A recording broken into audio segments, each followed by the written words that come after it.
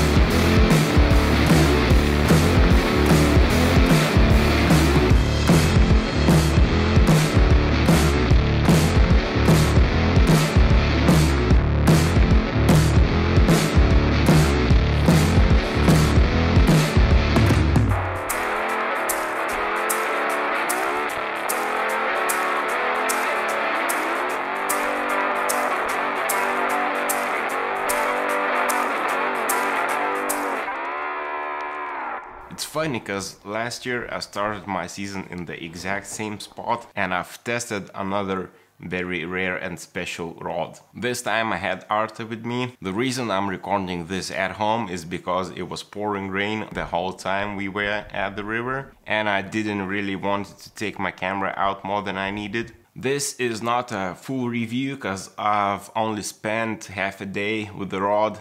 I fished with it before but even for shorter periods. So this video is more like a first thoughts about the rod.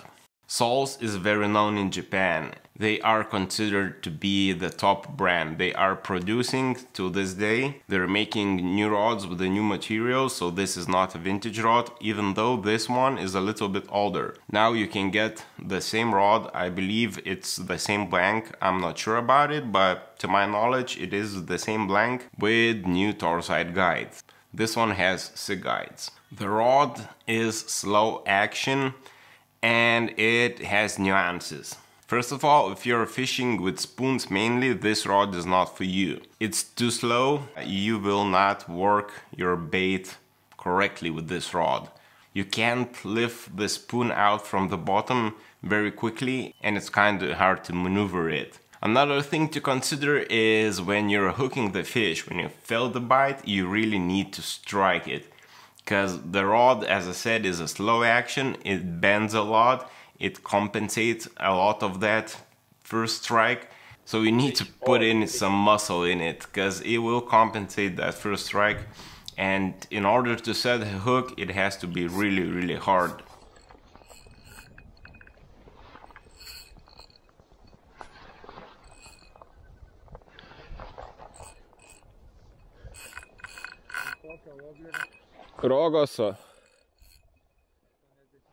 Ja.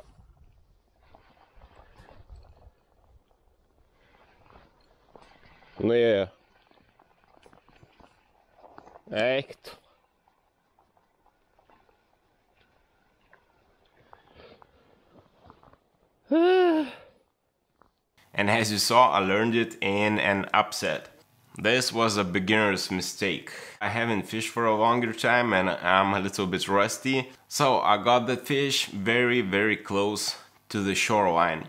And there is a drop, there is a lot of grass because it's supposed to be shore there, but the water levels are high. What I thought that I got snagged into the grass and I just lifted my rod. I didn't strike, I just lifted my rod and then I felt the movement. And it's funny because I was about to tell you how these kinds of rods with slow action is very good for holding and fighting with the fish because fish has no chance of escaping because that rod compensates everything the fish does. But another thing that I noticed about the rod. This rod is uh, the one you need to adjust the most while casting from all the rods that I tried because it might be the slowest rod of this length that I ever fished with. So when casting your lures with a long casting system that has moving magnets or weights inside, you really need to adjust your cast. It's not like your sea bass rods with fast action where you just strike it fast and that lure flies away. You really need to change that thing. And after a few hours you adjust, you get used to the rod and it casts fine. There is plenty of people who tells you that these kind of rods with slow action, usually they have a boron material in it, is not a good casting rods and those fellas don't know what they're talking about. Maybe these rods cannot be as good as sea bass fast action rods for those specific baits, but there's plenty of distance that rod can cover and I don't see any problems fishing with it. Sensitivity wise, maybe not as sensitive as fast action rods because those rods has higher percentage of carbon in them and it's just more sensitive. But for the fish we're catching with these kinds of rods, it's sensitive enough, I would say.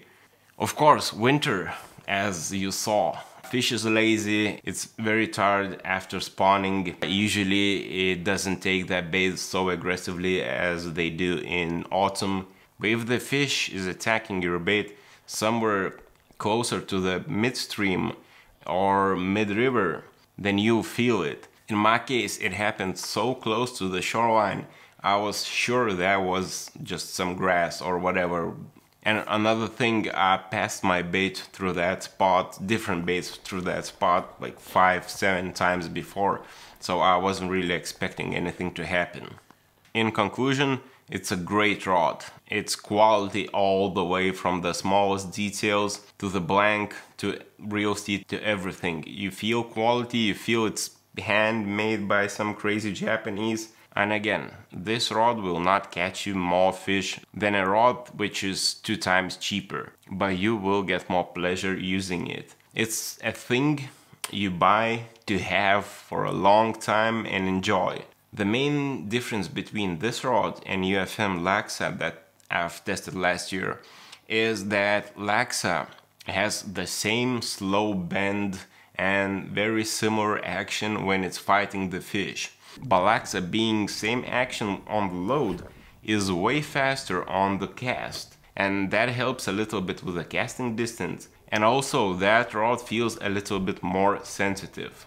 To give you final review, I think I will get that rod for a few more times if Arto allows me because it's his rod and I really would like to fight a larger fish with it and see how powerful it is because the sea trout I was hooked in, uh, Arta said it was around 70, maybe 75 centimeters because it was just by his feet, but I really would like to catch a fish around one meter and then to have a better idea how powerful this rod is and how it deals with that fish. So hopefully that will happen on a few next upcoming trips I'll have. If it does, I will let you know and I will make my final review of the rod. And don't forget to subscribe and like the video. Leave me comments as always and I see you next time. Peace.